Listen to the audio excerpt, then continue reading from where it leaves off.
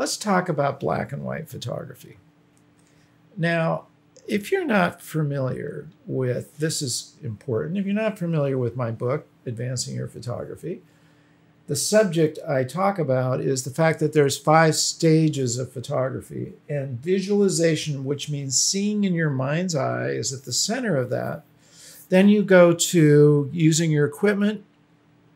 You got to know your equipment. Those are your tools, your creative tools. A camera is a creative device. It's not just a piece of stuff, you know, it's not just a piece of metal. It is a creative device that gives you the insight and the tools to capture what you have visualized. And then you capture it, which basically means composition and lighting, and then you process it. That's very important when we're talking about black and white photography.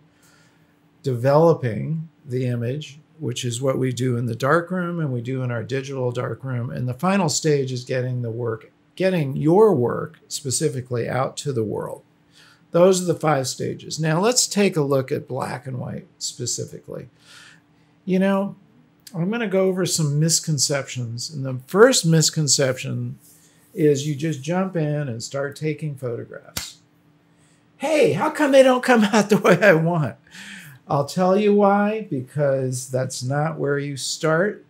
You start where Ansel Adams said, you know, one of the greatest photographers of all time. He said, visualization is the whole key. The whole key. What's a key? You got a door, it's blocking something, it's keeping you out. And if you got the key, you can unlock that door, you can open the door, you can get more creative.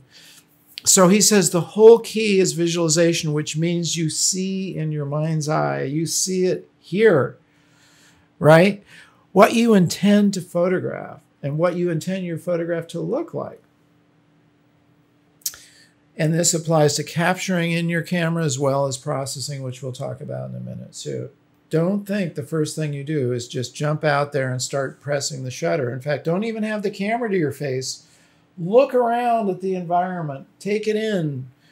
You know, you've heard me talk about this. Where's the light coming from? Where are the shadows? Where's this? Where's that? Where's the framing?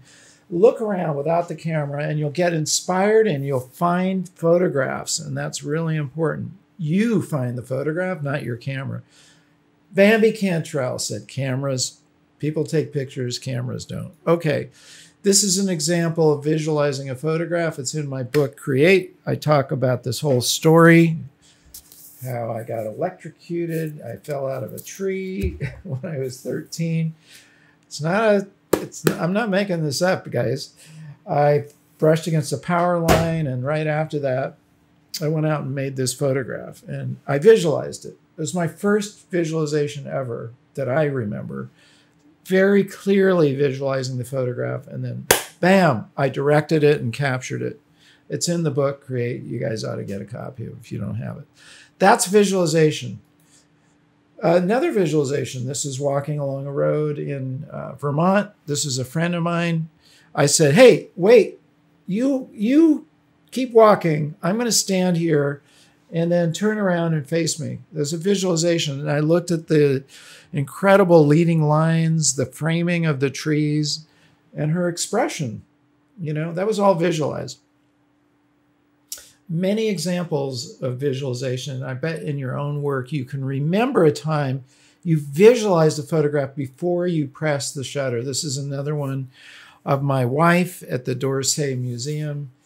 In this case, she visualized it and she basically art directed it, which means that was her vision. And she stood off to the side. As you can see, she's not straight in the center. That would have made it a very different photograph. That was a visualization on her part you can get insight from other people on your visualization. It doesn't doesn't all have to come out of your own mind. So, common misconception number two. You know, uh, don't photograph the commonplace. Look for unusual subjects only. And by the way, what should I photograph then if I don't photograph what's around me all the time? I have to somehow be magically transported, and I can only photograph when I go on vacation because it's all new and different. No, not true. And the person who really helps us understand that is Edward Weston. Now, both Edward Weston and Ansel Adams lived about two miles from here, from where I am right now in Carmel, California. They lived close to each other and they were friends. And Edward Weston said, Anything that excites me for any reason, I will photograph. Anything that excites me for any reason, I will photograph. Not searching for unusual subject matter, but making the commonplace unusual, making the commonplace unusual. Now, if you are familiar with his photography, you'll know some of the key photographs that we remember him by. Uh, one is called Pepper Number 30. We have a video of that. Jared can stick it up there. You guys can watch it later. You should be familiar with Edward Weston. He's one of the greatest photographers of the last century. But this is so important, you guys. Photographing the commonplace will open your doors, especially when we're talking about black and white photography. This is one of the first examples of me photographing the commonplace. This was school kids. This was me in the seventh grade taking a photograph of what some kids had done in our classroom. Now, I went to a, a kind of a free form, pre hippie beatnik school, um, you know, where we did stuff like this and creativity was valued more than learning grammar. Um, I had to later in my life learn grammar, and I didn't learn it in grade school, the grammar school, they call it. But, uh, you know, I had a pretty, pretty good eye, and I turned the camera on an angle here, and that's but I was taking the, a photograph of what was in, in at that time commonplace. It was my classroom. 12 years old. That's probably my first, and that is the first photograph that I've taken that I have sold consistently throughout the years. It's been in my books, it's been in different places. So, you know, if we judge a, a photographer going professional by when you sell your work, well, I guess I became a pro at age 12. Another example of backpacking, I've done a ton of backpacking. I used to teach mountaineering. And, you know, I came across a cabin. This is in uh, Canyonlands, Utah. Uh, wow, isn't it 18 or 19 maybe? And I saw these um, horseshoes hanging. I thought that's, you know, really interesting. It's commonplace. It's like part of the scene. Another black and white photograph.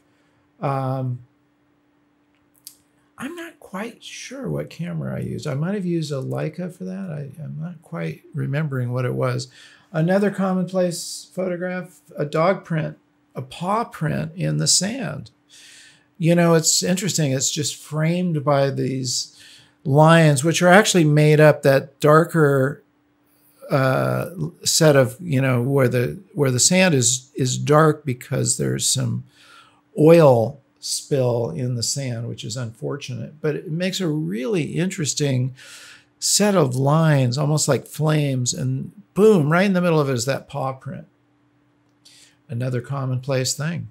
Look for those commonplace things. This was taken at the same time. This was taken, I believe, with a Nikon F.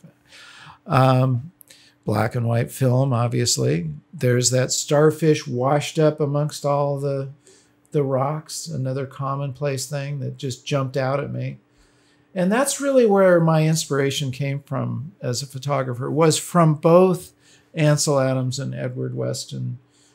Uh, and also Henri Cartier-Bresson. Obviously, he didn't take these kinds of photographs so much as people, but Edward Weston definitely inspired me to just look for the unusual in the commonplace. Okay, Another huge misconception my camera sees exactly like I do. Oh, if I just look in the back of my camera, I'll know exactly what I'm photographing. No, no, no. Or if I just look out and see, that's what my camera is going to capture. Absolutely, you will be disappointed with that. The camera does not see what your eye sees. Look at the difference just in framing alone.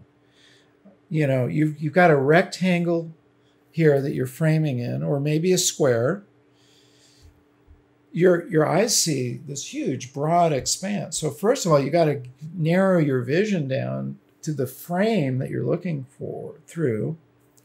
but also your lens, your uh, sensor, your film, all those things are going to look very different than what your eyes see. So you have to, you have to become familiar with what your camera sees. And especially with black and white, you really want to learn to see in black and white. Learn to see what the camera sees, especially in black and white, because look, there's no color. And it's not just an absence of color. You have to know how is that sensor or your camera or your film going to treat certain colors so you can visualize that. I learned to visualize in black and white. I could look at a scene and actually convert it in my mind to what it was going to, and I can still do that. I'm looking out at this monitor, which has got all kinds of color on it and I know what it's going to look like in black and white. And that just comes from experience. And you can do this drill. You visualize the photograph, you capture it, and then compare it on your screen. And just do that back and forth. You know, what does it look like out there when I photograph it? What does it look like on the screen as a black and white? And you can just go back and forth, train your eye it's just a training process, you guys. That's really what it's all about. You tune in to what does it look like as a black and white, and you know your your mind will catch on after a while. You'll get it. You'll go. It's like muscle memory. You start to develop that sense, and it really helps you with your photographs because now you're seeing what the camera sees. Bob Holmes said there's no shortcut for that. And it's true. And you really do have to take the time use your equipment, see what it looks like, which is another reason you shouldn't be jumping around from camera to camera to camera to camera to lens to lens to, do, to, to, because you're not going to be able to keep up with all those changes and it's going to add variables to your photographs you don't want. Please subscribe and enable the bell so you don't miss any of our new shows. Like the video and please share it and leave your comments. I love hearing from you. And remember to get out and capture your own images of life.